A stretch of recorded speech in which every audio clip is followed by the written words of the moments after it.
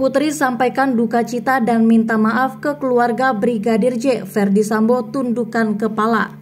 Terdakwa Putri Chandrawati menyampaikan duka mendalam atas meninggalnya Brigadir J dalam lanjutan kasus Brigadir J di Pengadilan Negeri Jakarta Selatan pada Selasa 1 November 2022. Diketahui ayah Brigadir J Samuel Huta Barat dan istrinya Rosti Simanjuntak menjadi saksi dalam sidang lanjutan dengan terdakwa Ferdi Sambo dan Putri pada Selasa ini. Setelah Samuel dan Rosti menyampaikan keterangannya, Putri diberikan kesempatan untuk menyampaikan responnya. Pada kesempatan itu, istri Ferdi Sambo juga mengungkapkan duka mendalam atas meninggalnya Brigadir Nofriansah Yosua Huta Barat alias Brigadir J. Dalam tayangan Breaking News Metro News pada Selasa 1 November 2022, Putri nampak menyampaikan duka mendalam atas meninggalnya Brigadir J.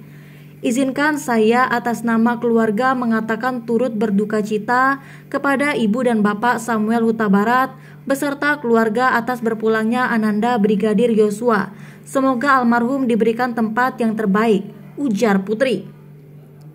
Sambil menahan tangis, Putri Chandrawati juga menyampaikan permohonan maaf atas peristiwa di Duren 3 beberapa waktu lalu. Saya mohon maaf untuk Ibunda Yosua beserta keluarga atas peristiwa ini. Putri menyebut ia memahami bagaimana posisi Ibunda Brigadir J sebagai seorang ibu. Sementara itu, Ferdi Sambo sempat menundukkan kepala ketika Putri menyampaikan duka mendalam dalam sidang. Sebelumnya, ayah mendiang Brigadir J Samuel Huta Barat menyampaikan kesaksiannya dalam sidang lanjutan dengan terdakwa Ferdi Sambo pada Selasa 1 November 2022 sejak pukul 10 Februari di Pengadilan Negeri Jakarta Selatan. Dalam sidang kali ini Samuel Huta Barat dan Rosti Simanjuntak menjadi saksi lebih dulu untuk dimintai keterangan terkait kematian Brigadir J.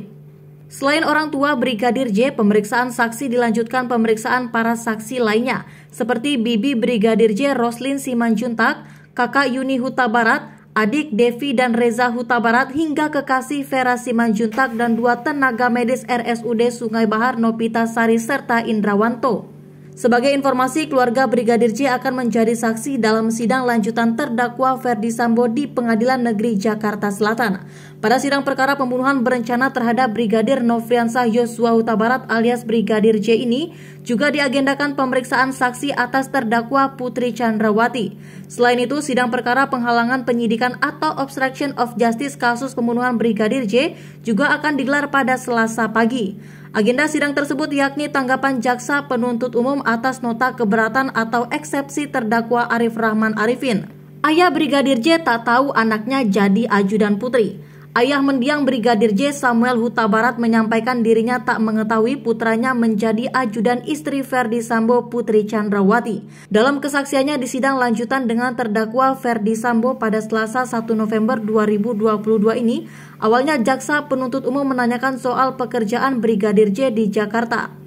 Novriansah Yosua Huta Barat selama ini di Jakarta ikut siapa? Lantas, Samuel Huta Barat mengaku tak tahu anaknya menjadi ajudan istri Ferdi Sambo, yakni Putri Chandrawati.